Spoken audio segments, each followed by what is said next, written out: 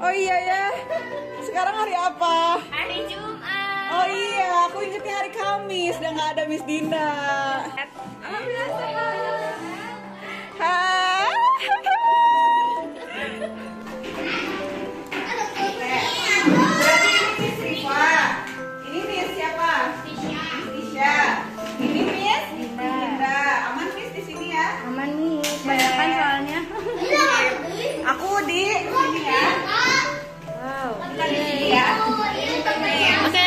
beres-beres Nanti ada satu lagi di sini.